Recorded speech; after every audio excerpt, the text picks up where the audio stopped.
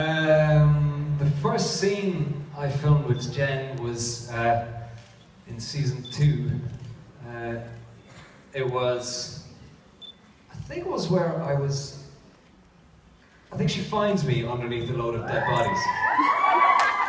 And that was the first, uh, that was the first scene that we, we shot together, where she threatens me with a knife.